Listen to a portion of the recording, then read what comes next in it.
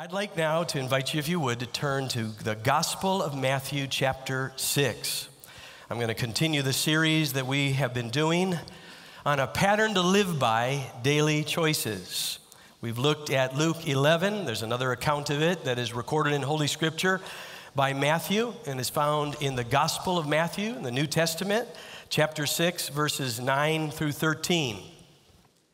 When a portion of scripture like this is selected, usually there's delivery of a message or a teaching on the topic of prayer. But as all of you are aware, or if you're new with us today for the first time, we're not dealing so much with prayer, even though the choices that we make will impact our prayer life.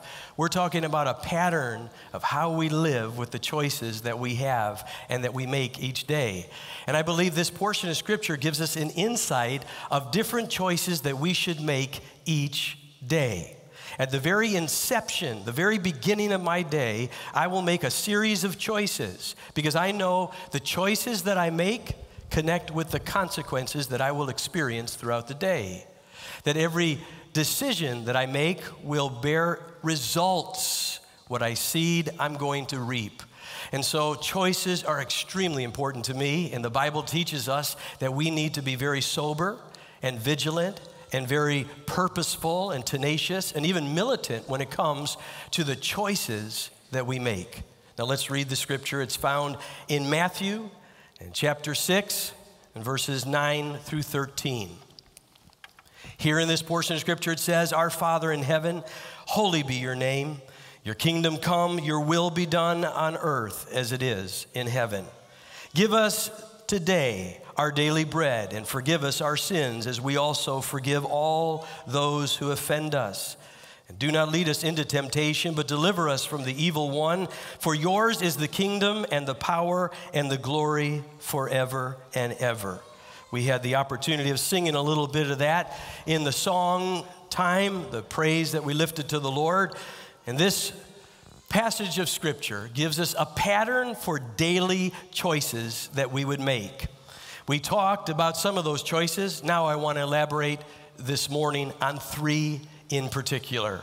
First, your kingdom come, your will be done. This is a daily choice that I make. I choose to be in partnership with God, to cooperate with God. Now, there's a mystery. We understand, we comprehend the reality that God is omnipotent, he's all powerful, he's omniscient, he knows all things, he's omnipresent, he's present everywhere, and he is self sufficient. He really, technically, theologically, biblically, practically does not need me. And doesn't need you. But in the mystery of our relationship with him, he wants us and he needs us in that context. And so when it comes to our heart and our response to him, we need to have a heart of cooperation a heart of partnership. Lord, I want to see your will done. I want to see your kingdom come. I want it to manifest, become visible and apparent in my lifestyle, in my conduct, in my behavior, in the choices that I have throughout the week. I want it to be present in my marriage. I want it to be present in our singleness or with our children, grandchildren, in our sphere of influence, in the workplace, in the neighborhood, in the community in this county, in this world. I want your kingdom to come and your will to be done on earth as it is in heaven. But the only way to birth it on earth is I have to cooperate and be in partnership with God. And to recognize that in my partnership with God, then He will do incredible things in and through my life. If you think of it, Abraham had to cooperate with God when it came to the establishment of a nation. And then when you think of the various patriarchs like Moses, he had to cooperate and be in partnership with God in order to bring deliverance to a nation. You have Esther, who had to be in cooperation and partnership with God in order to protect a nation from experiencing a genocide, of being completely wiped out. Isaiah had to be connected and in partnership with God to prophesy those things that would come about. Paul had to be in partnership with God, cooperate with him to write a third of the New Testament under the inspiration of the Holy Spirit, and Peter in order to preach and teach, and John the apostle in order to see a great revelation recorded in the Bible. There was cooperation, there was partnership. Where is it in your life that you have to say, Lord, I want to cooperate with you. I want to be in partnership with you because I know the enemy will come and assault that and attack that. There's a Goliath that needs to go down, but you need a David to be in partnership and in covenant and in cooperation with you. That he'll take a few stones, but you'll do the miracle of bringing the Goliath down. But we have to be connected to him. Can I encourage you to make a daily choice? In relationship to this pattern that Jesus establishes for us to say, Lord, I choose today to be in partnership with you, to cooperate with you, so that your will, your kingdom, would be made visible in this world. Romans chapter 12 and verse 2 says this Do not be conformed to this world, but be transformed by the renewing of your mind, that you may prove what is the good, acceptable, and perfect will of God. We want His will to be done on earth as it is in heaven. We want His kingdom to come. His kingdom is the manifestation of His will. So we need to be good discerners of the will of God. And the scripture says we ought not to be conformed or transformed into this world but we need to be absolutely renewed in our mind so that we would comprehend and fully understand and fully embrace what is the good, acceptable, and perfect will of God. When you talk about that, realize this is not really three different expressions, it's kind of three different manifestations of God's will. God's will is one composite unit but it is expressed or manifests itself in three different ways that which is good, acceptable, and perfect. Kind of like the Trinity. When you think of the Trinity, God the Father, God the Son, God the Holy Spirit, they're distinct from one another, but not separate. So it is a distinct, distinction that doesn't imply separation. So it's one. And in the same way, God's will is one, but it expresses itself as being defined as that which is good understandable, acceptable. It's the right thing to do. And it's perfect. It needs to be completed in and through our life. I think our appropriate response to this reality is to have kind of a threefold response to God's will. That we say, Lord, I know your will, I accept your will, and I do your will. All three of those, I think, are very significant and extremely important. I have to know it. I have to understand it. This is not just cerebral or academic or intellectual, it's relational, it's personal. It's not something mechanical, but I need to understand, comprehend the will of God. And then when I have that epiphany, that enlightenment, that illumination of this is His will, then I need to accept it and embrace it. In the acceptance of it, that impacts your attitude. There are some who will know God's will and do it, but they never fully accept it.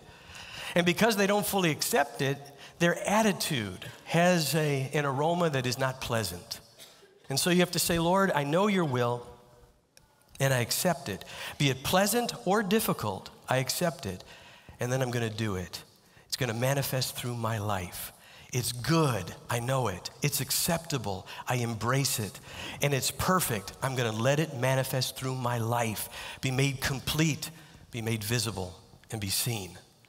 Now, when it comes to God's will, maybe if you look at the Bible, you could understand there's different aspects of it.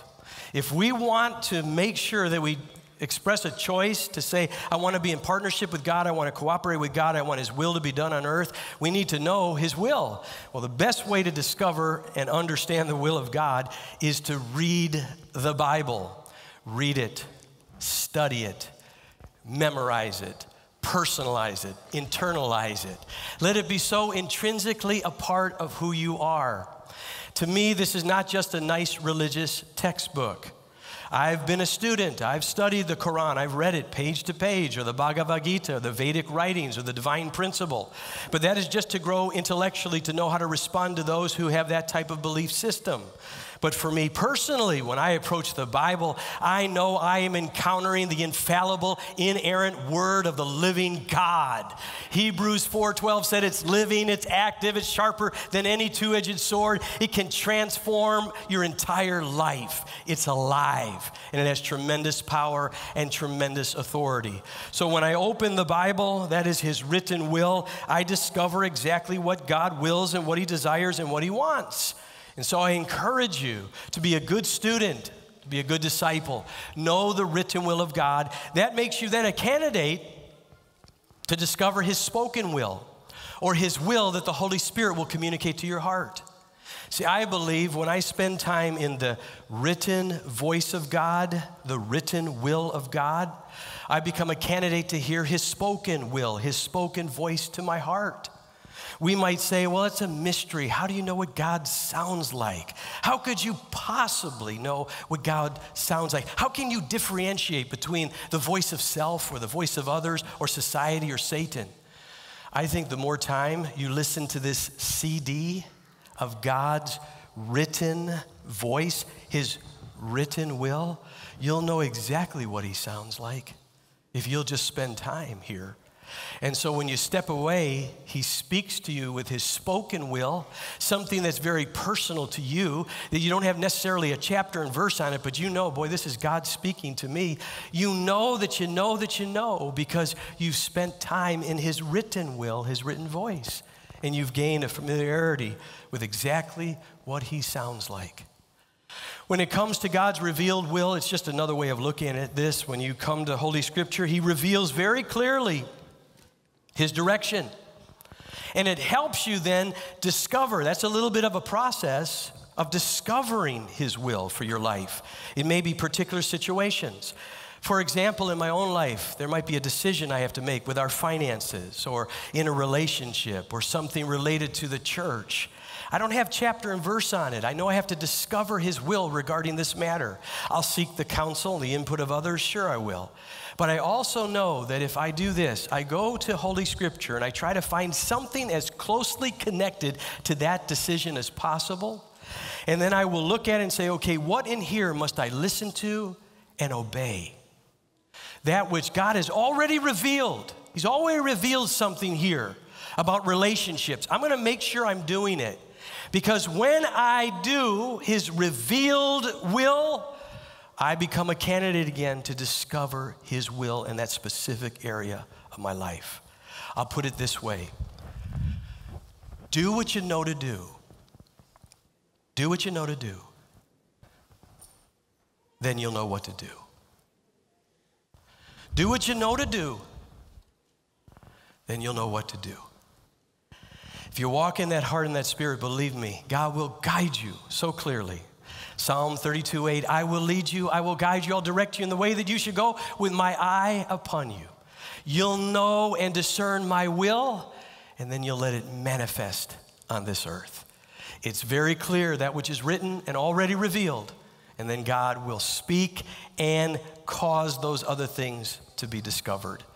And as some who had mentored and discipled me, this was a component of understanding the will of God that I was a little personally resistant to because I wanted my walk with Jesus to be always happy with a big smile and never very hard or difficult. And those who mentored me said, You have to realize that the will of God in some areas of your life, Gary, will be very pleasant, and in some other areas, it will be very difficult. But you have to press on, be tenacious, and do it. When I meet with different missionaries, especially in persecuted nations, they're carrying out the will of God, and it is very difficult.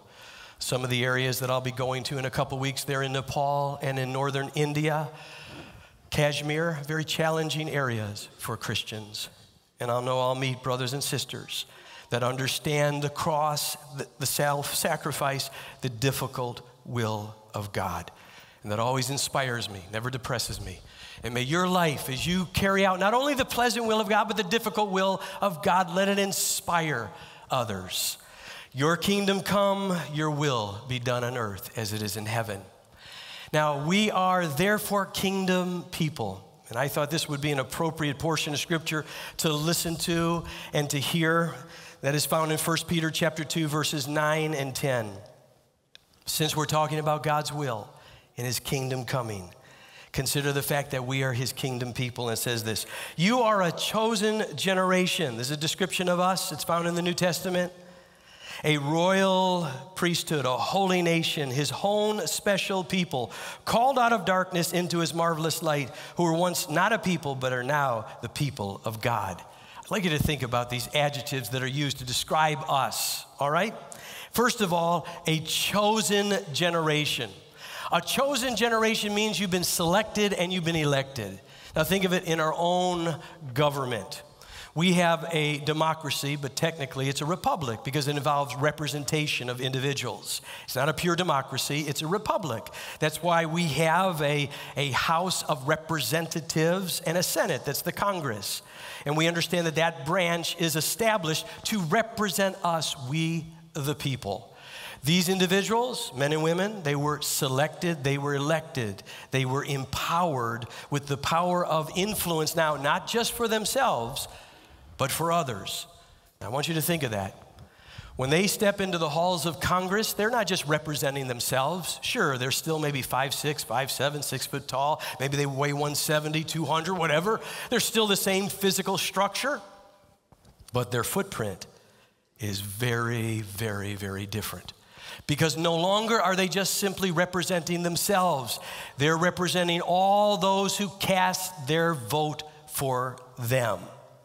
And so when they step in there, they exercise a very broad and expanded influence in that environment. Now, I want you to think of yourself. You've been selected and elected by God, He's put His vote in you.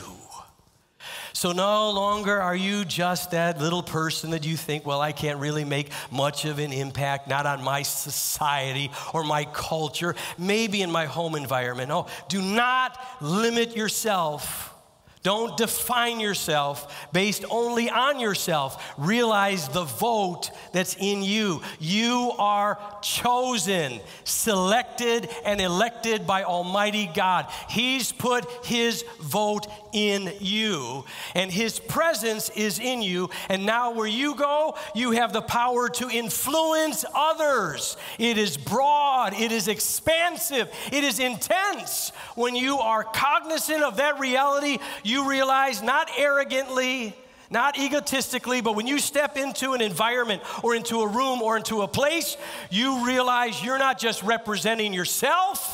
You are representing God Almighty and the King of Kings that resides within you. Do you realize the impact that you can have in your profession? When you step into that business place or that medical center or you step out onto the street, God is using you in a strong and a significant and a powerful way. But you have to believe that. I remember Oral Roberts when I attended their undergrad and graduate school, Oral Roberts University. He was alive at the time, and once in a while he'd come out to the students and he didn't say anything really all that profound. But I'll never forget this simple truth he communicated to all of us.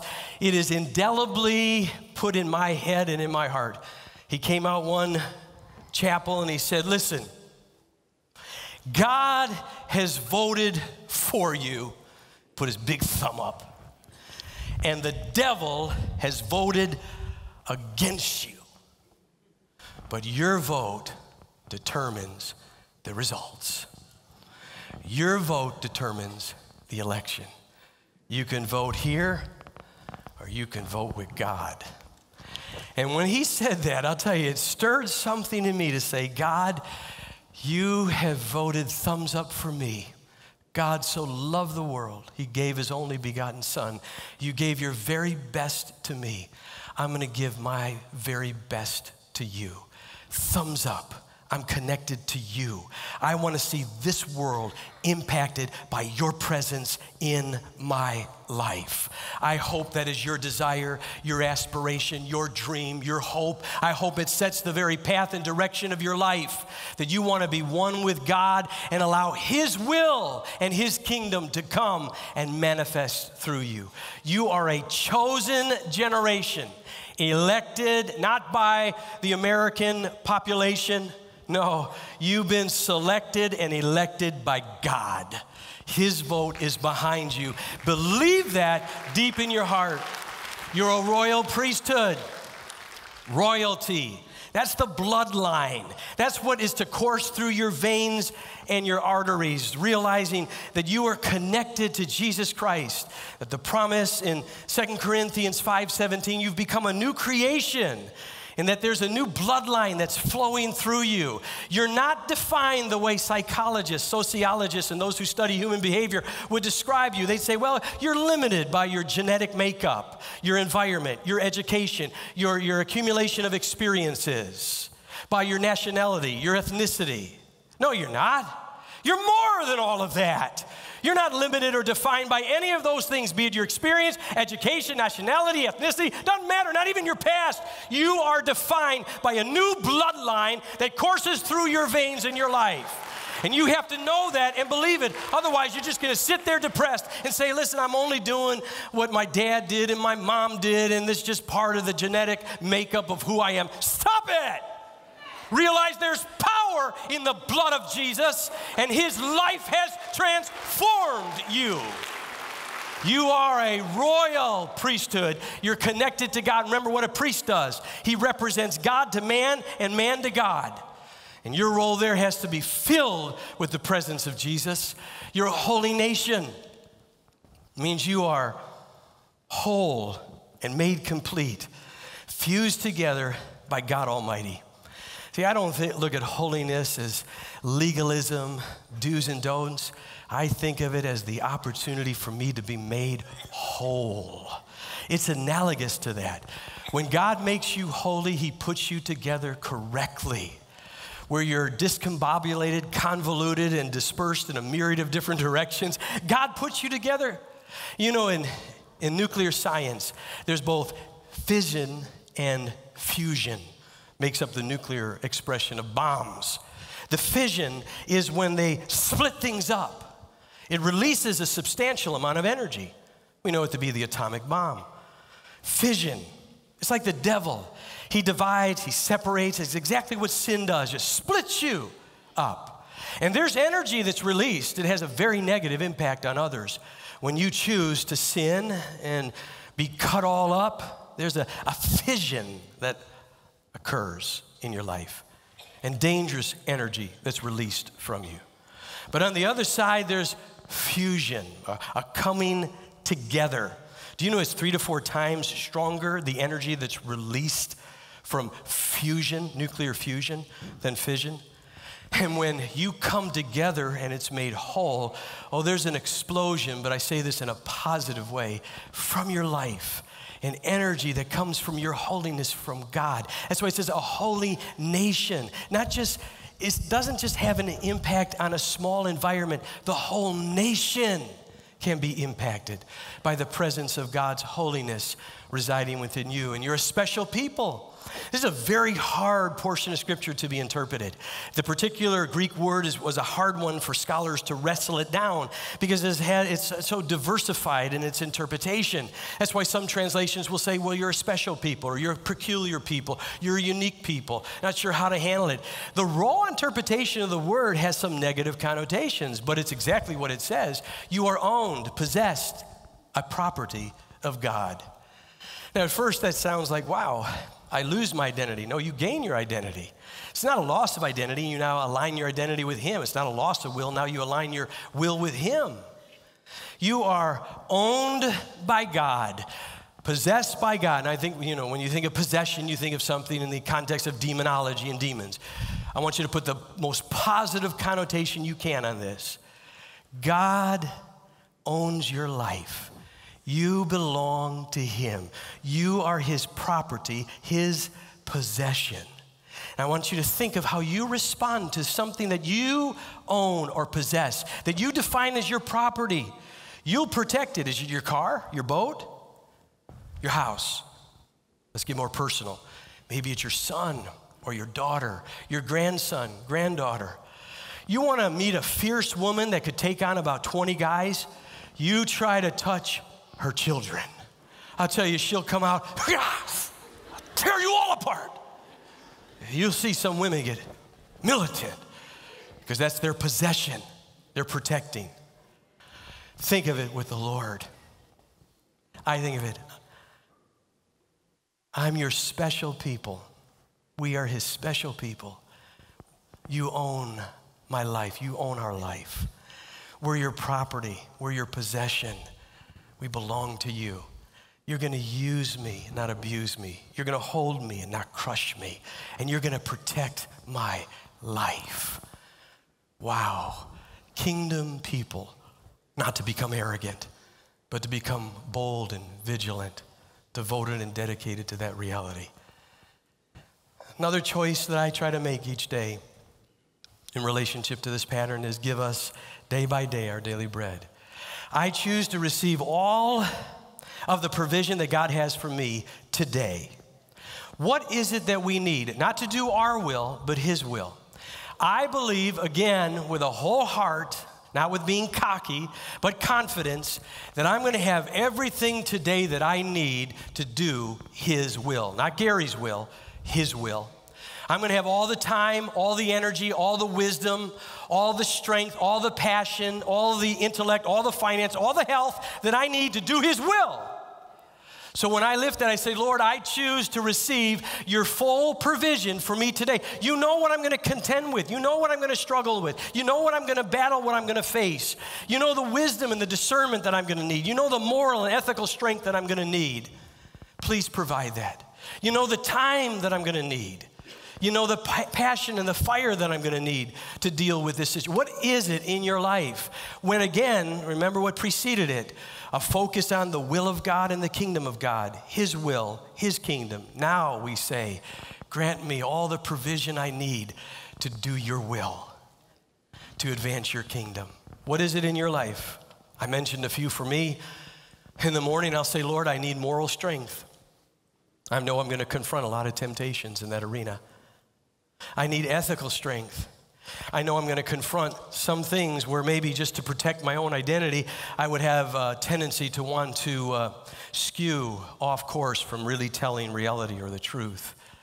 I want to, I need ethical strength to say things as they really are without being distorted with reality. I need wisdom this is more than intelligence. I had some professors that had three or four PhDs. I marveled at their cerebral region, their intellect, their academic uh, abilities. But I was um, a little bit personally embarrassed by their lack of wisdom because wisdom is knowing how to take that knowledge and apply it. Ask the Lord, give me wisdom. I want more than knowledge, I want wisdom and discernment. I need soundness and boldness today. I need good health and finances. I need peace, a stability, and a love, a security. I, I need godly authority and power to contend with demonic forces and darkness. What is it that you need? Ask Him for that and make the choice to say, I'm going to receive the provision of that fully and completely in my life. And then this is the last choice I want to zero in on. Maybe it's one of the most difficult. But it's at the beginning of my day, at the inception of my day, based on the pattern of the Lord's Prayer, the Our Father, that I know I have to make a choice to receive His forgiveness, to really receive it, and then to release it unto others. It's a daily decision because all of us are undergoing sanctification, refinement. There's mistakes in our life. You want to fail forward. You want to learn from the mistake that you've made, or you may have had a moral failing or a sin, and you have to come before God and say, Lord, I ask you to please forgive me, and I want to receive your forgiveness. Now, when we do that, let me describe it by this illustration. This is based on 1 John chapter 1, verse 9. Very important portion of scripture for me at the beginning of my day. 1 John chapter 1 verse 9. If we confess our sins, he's faithful and just to forgive us and to cleanse us. Sometimes we don't get both. We just receive the forgiveness, but we forget to receive the cleansing. What can happen is we have in our life some bondage, some sin, and it weighs heavy upon us. And so we come before the Lord and say, Listen, I compromised. I made a wrong decision. I sinned. Maybe it was with envy or jealousy or bigotry. Maybe it was cheating or lying, or maybe it was with lust or some area of stealing or gossip, whatever it might be, or greed. You say, Lord, I've sinned against you. I make confession. That means to come into agreement with what He says and His standards. I make confession, and I ask you to forgive me. When He forgives, there is a release. The actual word in the Greek language for forgive means to release. But there's a problem that sometimes we do. We still come under condemnation. We can't seem to forget it. And there's the bondage is gone, but there's a rope of captivity that stays with us. And as we go into the day, as we take our walk through the day, it not only impacts or impedes our ability to move forward, it slows us down, paralyzes us, and we can even run it into others and it can impact them because there hasn't been a cleansing. And oh, we might say, well, you know, condemnation, guilt. I guess it's a good thing because it allows me that kind of that catharsis of beating myself up. I blew it. And I thought I was solid in the Lord and I blew it. So the condemnation we think is uh, somehow beneficial, something heroic because, like, so bad, I'm so disappointed with me. But condemnation is extremely dangerous. You know why? It keeps you connected to the sin.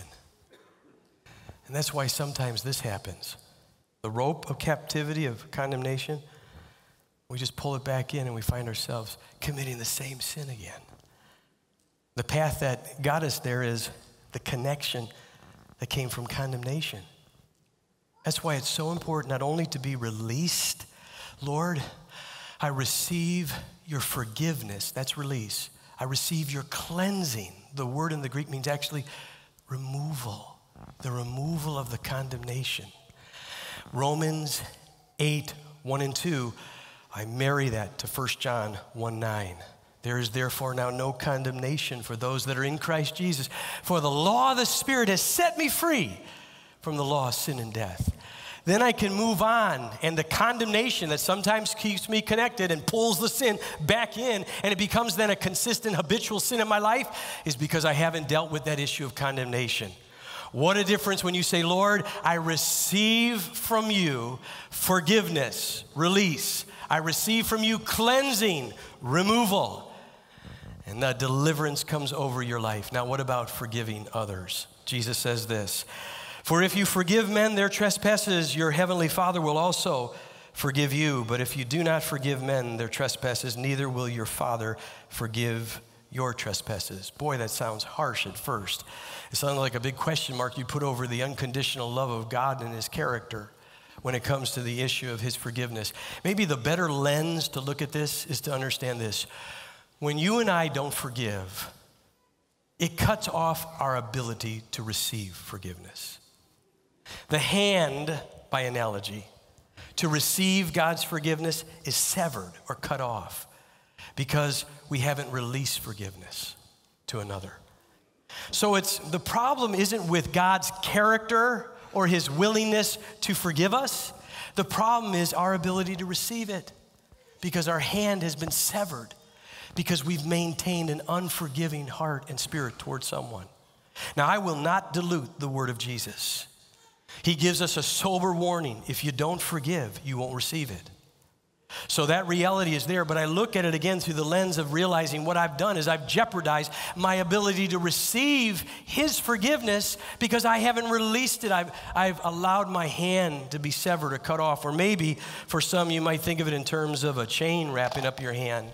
You know, when you're unforgiving towards someone, it doesn't necessarily bind them all up. They may go on their merry way, but you're all bound up, and your hand is so filled with the chain of unforgiveness, you can't receive. And you have to ask the Lord, Lord, I need to release this chain. And you might say it's very, very difficult. There was a gentleman many years ago in our church. I knew him personally, I knew him well. He was in leadership. His precious daughter and granddaughter were both murdered by two individuals. It was a horrific day, horrific week, a horrific month and year in his life and all of our lives. I went to the funeral to see both caskets and those two laying there was horrible.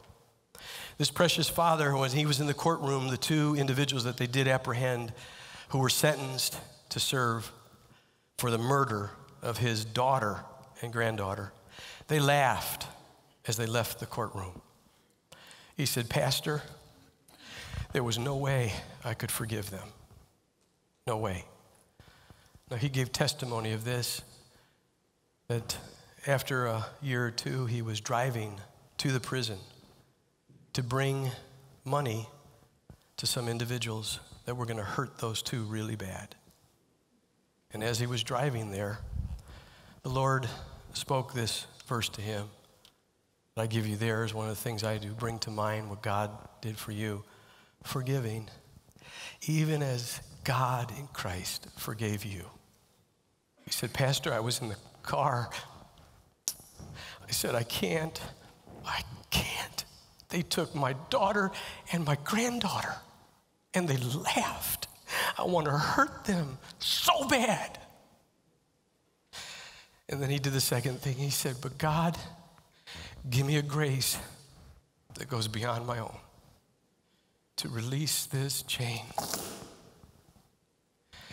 to release my forgiveness on them. He said, Pastor, I was in my car. I pulled over and I couldn't stop crying for hours as I did what was for me an absolute miracle. I released them. I forgave them. And then I felt the presence of God come over my life, changing me and strengthening me like no one else could. I did what I could never do in my own strength, but I did it by the grace of God. Now, I don't know where you're at. I knew him, still know him. It's a true story. What God did in his life, he can do in your life.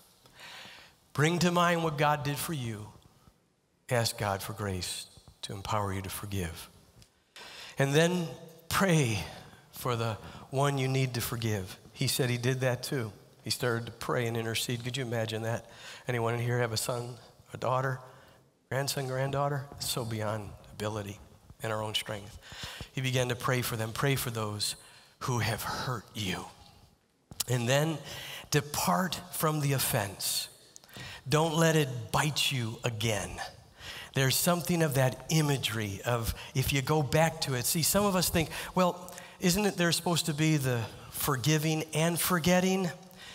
Biblical forgetting is understood through Deuteronomy and then the chapter 8 and verse 11.